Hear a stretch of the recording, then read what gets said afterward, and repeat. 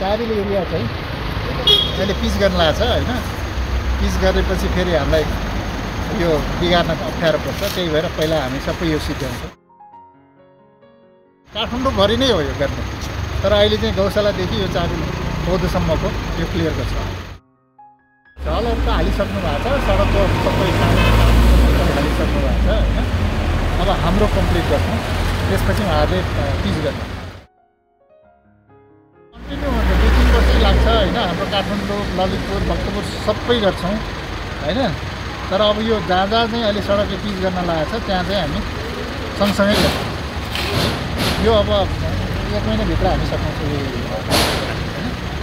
साबिल area